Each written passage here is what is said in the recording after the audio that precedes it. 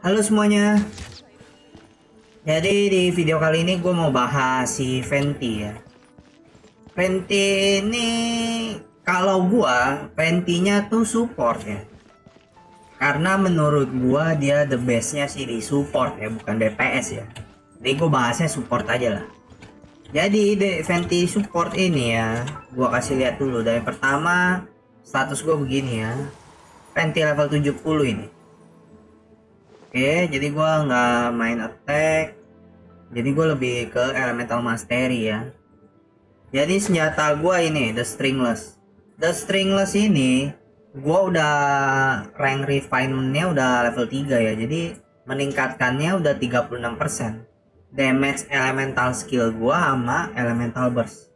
Jadi skill E gua mah skill Q kalau gua pakai damage-nya tuh meningkat 36% ya dan selanjutnya kalian kalau misalkan DPS kalian bisa pakai ini ras.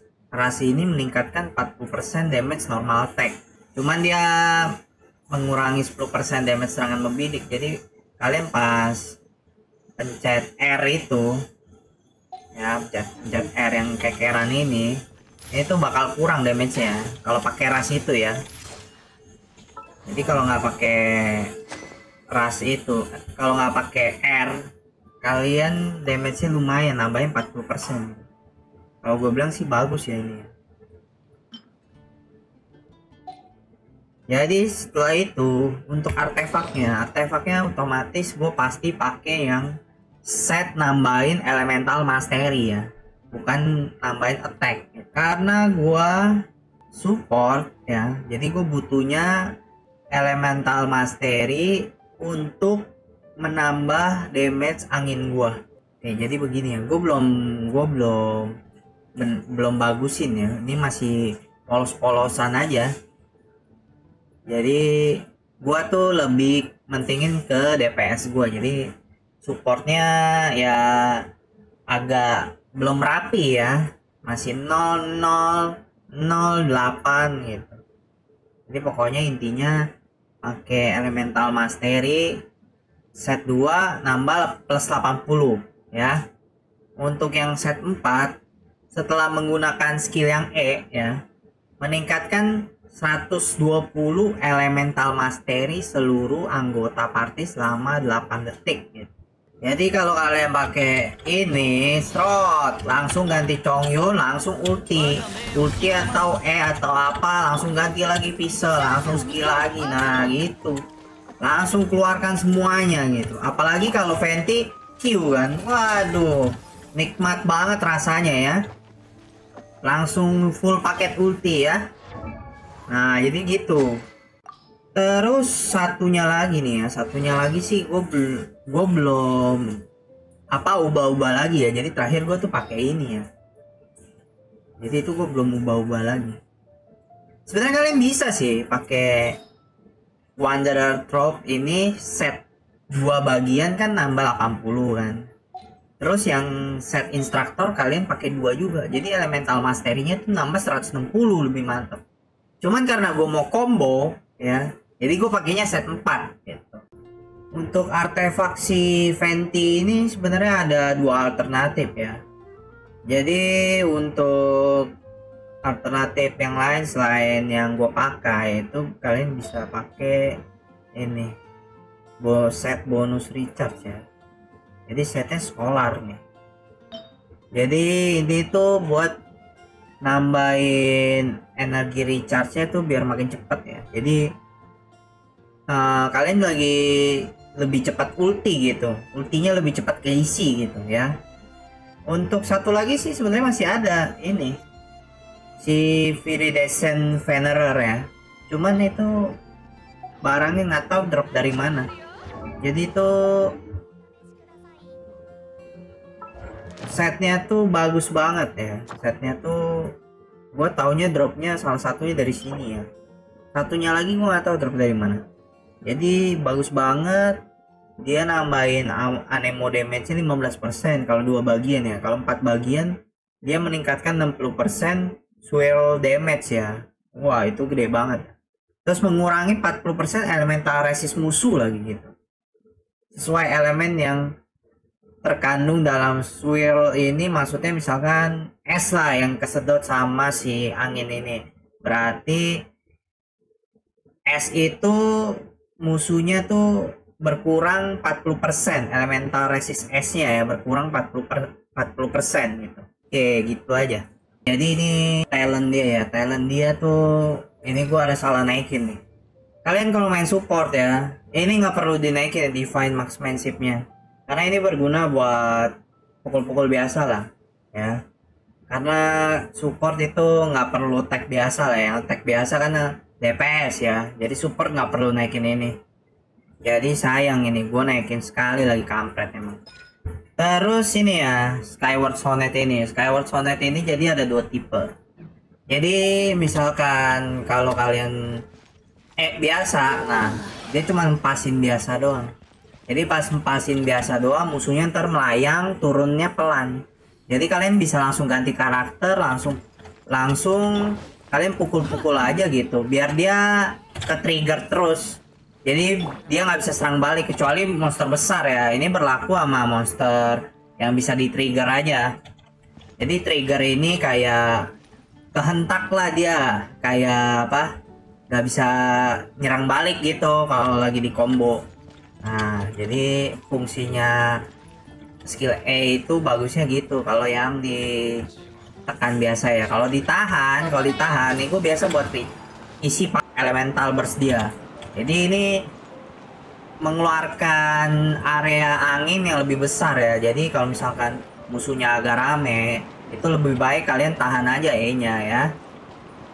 Jadi kalau musuhnya tinggal sedikit dua gitu, kalian tinggal ajak mereka dempetan terus kalian tekan E biasa terus baru combo-combo gitu lah oke jadi untuk ulti ya untuk ulti kalian itu bisa ngumpulin musuh ya. Jadi ini fungsinya berguna banget untuk yang sedikit rame lah. Dua tiga atau empat musuh lah itu udah berguna ya skill ultimate dia ya. Jadi ultimate dia itu tuh nyedot musuh. Lumayan ya lumayan lumayan besar gitu nyedotnya dia ya jadi pas sudah berkumpul kita bisa campurin dia pakai air api es atau listrik. Jadi kita bisa pilih. Gue sih biasa ya biasa gue refleks aja sih. Kalau ya gue biasa kalau DPS ya es gue pasti langsung pakai es gitu ulti es gitu. Ya jadi dia bisa ngeabsorb uh, nyedot nyedot angin ini bisa nyedot satu elemen doang ya jadi misalkan kalian ulti ultinya Venti. Terus kalian pakai Chongyun. Pakai Chongyun kalian ulti S. Berarti ini dia kombonya itu masuk angin sama es langsung. Nggak bisa nggak bisa diapiin lagi gitu. Dia karena absorbnya satu kali doang ya. Ini ada tulisannya ya. Elemental absorption hanya dapat terjadi sekali untuk setiap penggunaan skill. Oke, jadi itu aja talentnya ya. Talentnya itu yang perlu dinaikin dua ini ya. Nah, ini dua ini penting. Untuk talenta pasif ya kalian bisa udah ngerti lah pasti lah. Ini kan apa Skyward Sonnet ini yang skill E dia ya. Jadi ada angin-angin gitu setiap selama 20 detik ya ini itu ada yang kebuka tuh saat level 70 ya Tom Aida baru kebuka pas Asen 4 lah jadi ini kalau kita pakai ulti langsung mulihin 15 energi si Fenty jadi kalau misalkan si Chongyun elemen S ya jadi kalau misalkan si Fenty ulti terus Chongyun yang diabsorb elemennya jadi yang bakal nambah energi itu yang punya elemen S. Misalkan si Chongyun sama Kiki ya kan, kan sama-sama elemen S tuh. Kalau Chongyun yang diabsorb elemennya, Kiki juga nambah energi. Chongyun sama Kiki jadi yang nambah. Ya si Fenty juga nambah. Itu. Oke, jadi itu untuk talentnya ya. Talentnya itu terus untuk konstelasinya kalau konstelasi level 1 ini jadi tiga ya kalau kalian charge attack ya tahan attacknya jadi tiga. Kayak gini ya. Panahnya jadi tiga. Nah jadi tiga dia. Untuk yang kedua ini kalau kalian pakai skill E dia kalian pakai skill E dia tuh resistensi anemonya tuh berkurang 12% berkurang 12% selama 10 detik. Dan kalau misalkan musuhnya melayang gitu kan. Kalau kita misalkan e tahan atau e tekan ya itu kan musuhnya kayak melayang gitu turunnya sebentar kan. Pas melayang itu dia ada tambahan lagi 12% lagi. Jadi 12% plus 12% terus physical resistnya juga berkurang 12% jadi nggak anemo resist aja yang berkurang. Tapi physical resistnya juga berkurang gitu. Kalau pas lagi melayang ya kalau udah udah di darat physical resistnya hilang. Untuk yang konstelasi 3 itu nambahin 3 level skillnya ya 3 level skill ulti dia ya. Itu aja terus konstelasi 4 ya. Kalau mengambil elemental orb ini berarti itu ya yang crystallize ya. Crystallize ini bisa dibuat kalau kalian combo sama si tanah ya sama geo ya nah tuh itu elemental partikel ya. Kalau elemental orb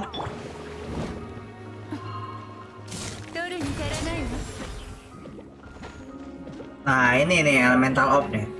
Ini elemental orb nih ya. Nah ini elemental orb Nah jadi kalau misalkan Si Venti ambil itu Bonus anemo damage dia tuh Bertambah sebesar 25% selama 10 detik gitu Jadi langsung ya pas diambil langsung nambah 25% ya. Ultinya atau skill A nya itu nambah 20, 25% selama 10 detik. Untuk yang kelima skill E nya bertambah 3 ya level skillnya ya. Cuman gitu aja. Nanti damage nya makin sakit.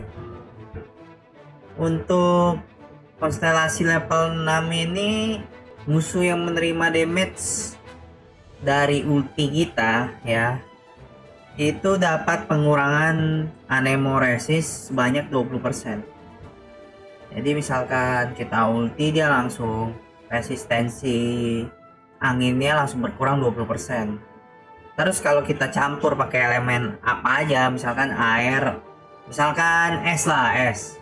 Kalau misalkan es masuk ke anginnya resist elemen es itu juga langsung berkurang 20% jadi dia udah anemo resistensinya berkurang 20% elemen es resistensinya juga berkurang 20% gitu.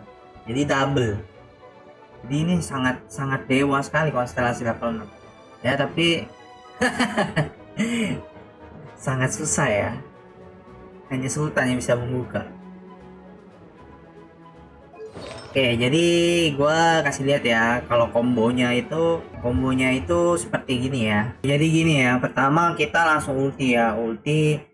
Langsung kita campur dengan petir langsung kita pukul-pukul ya. Gue nggak pakai Chongyun karena apa? Dia tuh nggak bisa terima damage musuhnya. Kalau misalkan dia lagi terbang gue pukul pakai Chongyun tuh nggak bisa karena musuhnya lagi terbang gitu. Jadi gue pukulnya pakai Barbara tadi cuman biasa Chongyunnya gue ulti. Jadi pas habis Fenty ulti Chongyun gue ulti terus baru gue petir biasa ya pakai Visel gue petir pakai Visel terus Barbara baru gue pukul-pukul-pukul atau pakai Mona lah bebas. Pokoknya yang attacknya bisa kena di udara gitu. Nah begini ya lihat ya boom gitu. Terus pukul-pukul-pukul-pukul karena Barbara gua doang yang bisa kenain musuh di udara jadi gua pakainya Barbara gitu buat attack-attack biasa lumayan kan ya daripada ditungguin kan nah ya jadi begitu Oke, jadi itu aja ya pengalaman gua selama main Fenty itu yang gue bisa kasih kalian ilmunya tuh segitu aja. Jadi mungkin ada yang mau tambahin bisa tambahin di kolom komentar ya. Oke, jadi thank you semuanya yang udah nonton. Bye-bye.